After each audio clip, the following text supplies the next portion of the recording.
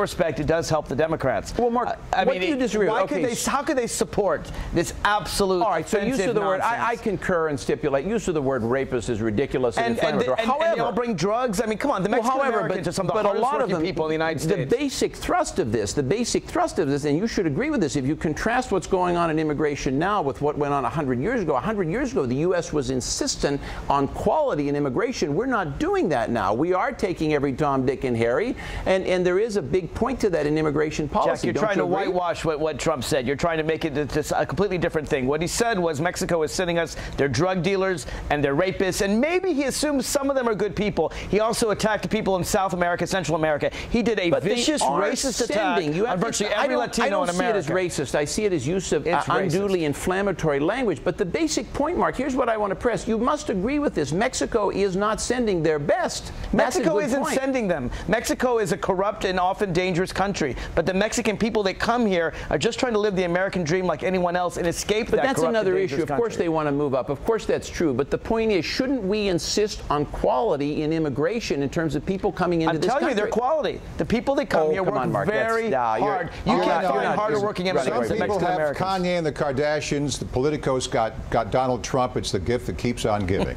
Meanwhile, New Jersey Governor Chris Christie says he's all in for 2016 and he doesn't plan to sugarcoat anything. I am not running for President of the United States as a surrogate for being elected prom king of America. I am not looking to be the most popular guy who looks in your eyes every day and tries to figure out what you want to hear, say it, and then turn around and do something else. When I stand up on a stage like this in front of all of you, there is one thing you will know for sure. I mean what I say, and I say what I mean, and that's what America needs right now.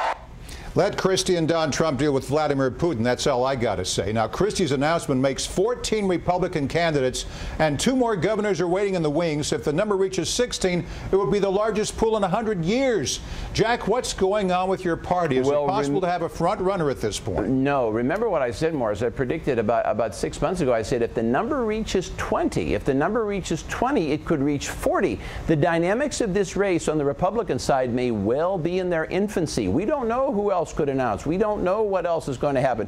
Christie has the same challenge that a Marco Rubio has, that a Jeb Bush has, and that a Donald Trump has. They've all got to move to the right to survive those early primaries.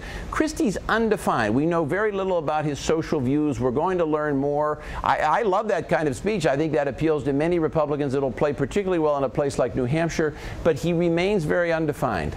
Jeb Bush took a major step by releasing 33 years of financial records. Bush says he paid more to the IRS than Hillary Clinton despite earning less.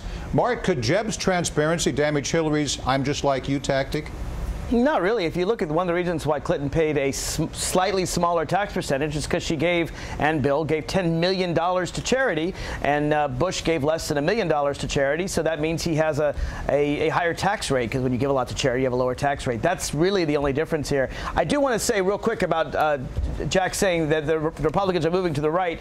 Chris Christie's operative word was mean. There's a reason he used it. It's just interesting to me that when Jack says moving to right, I say it's mean and racist. Which one do you want? Either way, it's moving to the right. Well, I don't see it. I don't know what's ra- I think Chris Christie. I think he's enormously progressive Trump on is race racist. issues. I don't know. mean. I, I, Trump, I Chris think Christie's mean. Trump, I think used used bad. Trump, I just think used bad language. One of the things I kind of agree with Mark on the on the Clinton. Sure, they gave more money. That's a good tax analysis. I think he's right on the money. But the, the issue is not taxes, Morris. The Clintons are going to be dogged with this foundation and the money. You see the big Washington Post story a few days ago. It's a good foundation. Chelsea It does Clinton- charitable things. Even Chelsea Clinton is receiving $65,000 for a speech.